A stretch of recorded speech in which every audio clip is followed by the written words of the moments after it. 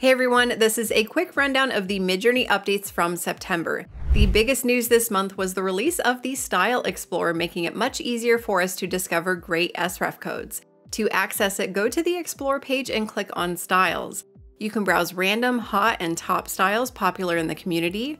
Click a style to see more example images.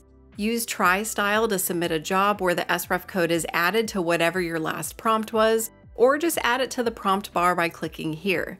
You can also like styles by clicking the heart, and then go up to likes to view all of your favorite styles. There is also a search up here where you can type in keywords or paste an image URL and it will search for similar styles. Be sure to watch my last video where I talk more about this feature, give a more detailed walkthrough, and cover how the Style Explorer differs from using SREF Random. The team has pushed multiple updates to the Style Explorer throughout the month, significantly increasing the number of styles available and also fixed some bugs with the hot and top feeds.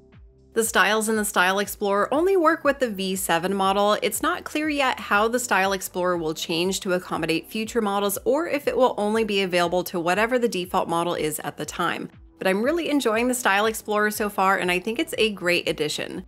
Next, let's talk about upcoming models. V7.1 is still in development. They do have a version that they think is different and slightly better than V7.0 with better prompt accuracy and better omni-reference, but it still needs more testing.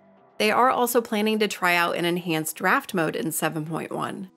V8 is chugging along and will be the primary focus once 7.1 is released. They've got their new architecture and server infrastructure in place behind the scenes. V8 is being trained on a significantly larger dataset, which means it will have greater topic knowledge compared to previous models. A new image editor and a V2 video model will come after the V8 release, which is still expected to be by the end of the year. Then we have some upcoming features and other miscellaneous updates for you to be aware of. Midjourney is working on a style creator, which will help you find and create styles. This will be a different approach compared to creating a mood board or using the Style Explorer, for example. In a recent office hours, they said that it will not require you to add images, so I'm curious to see what this will look like. User profiles are coming soon. The team is trying to be thoughtful with this feature, wanting to avoid negative dynamics that can often come with social features. They haven't said exactly what user profiles will look like, but we will be able to follow other users on the website. Better tooling is coming for personalization, making the setup process easier and will go beyond image pair ranking.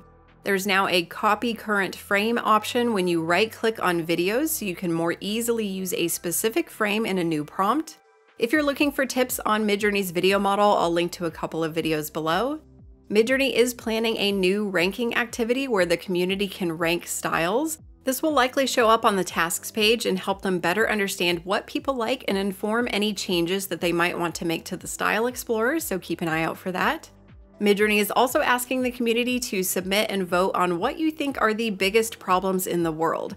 This is kind of a collective intelligence experiment for them, and they aren't quite sure what they're going to do with the end result yet. But if you want to participate and submit your own list, you'll find the link below and several secret projects are still in development. Some are hardware and some are not.